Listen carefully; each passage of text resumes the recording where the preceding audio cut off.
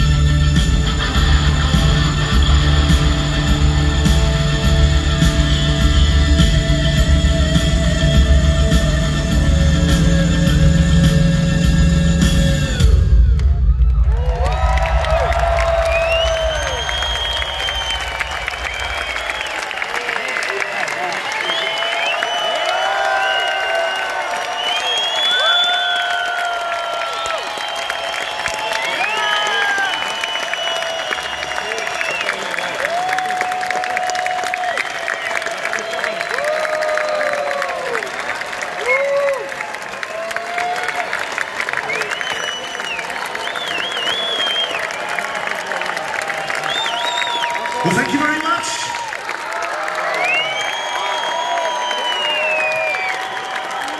I guess that means you've all enjoyed the show this evening.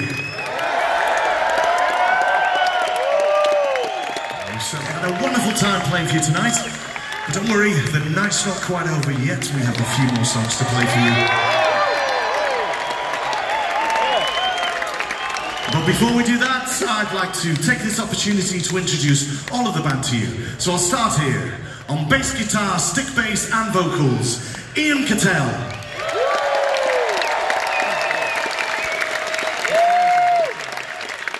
And on guitars and vocals, Edo Scordo.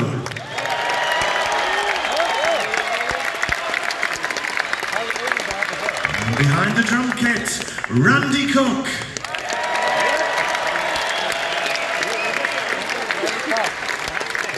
And joining us on Hammond and, and piano, Mr. Harry Waters.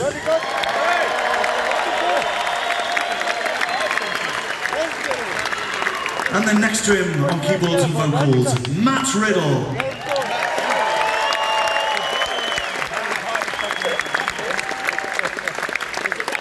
And playing saxophones, percussion, guitars and keyboards, Ryan Saranich.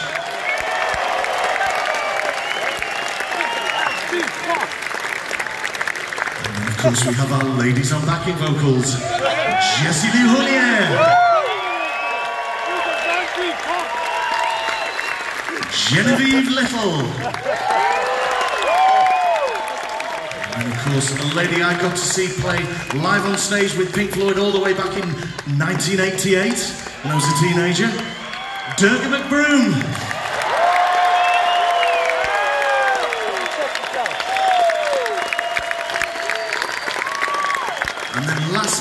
Least, Eva Avila.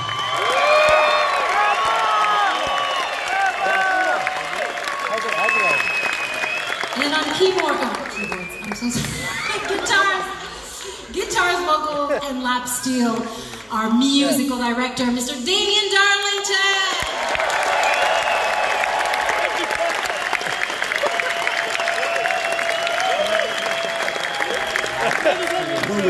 one more special guest to join us on stage now.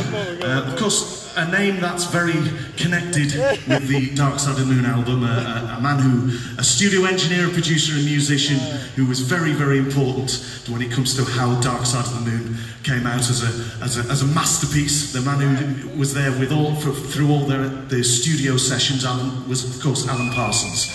And he went on to have to put together the Alan Parsons Project, and we're very, very happy and pleased to have on stage with us now singing the first of two songs, Mr. P- PJ Olsson, who sings with the Alan Parsons Project.